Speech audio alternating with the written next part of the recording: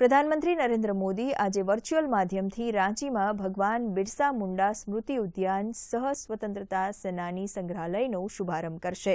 સંગ્રહાલય રાંચીની જૂની સેન્ટ્રલ જેલમાં સ્થાપિત કરવામાં આવ્યું છે. અહીં ભગવાન બિરસા મુંડાએ તેમનું જીવન ત્યાગ્યું હતું.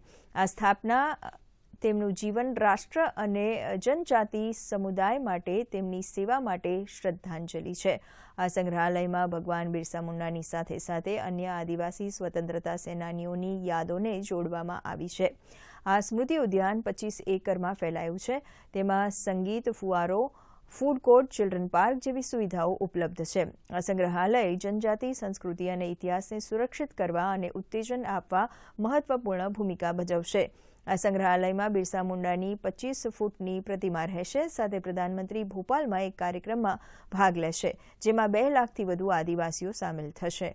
આ પ્રસંગે અન્ય જનજાતીય સ્વતંત્રતા સેનાનીઓના યોગદાન પર પ્રકાશ પાડવામાં આવશે.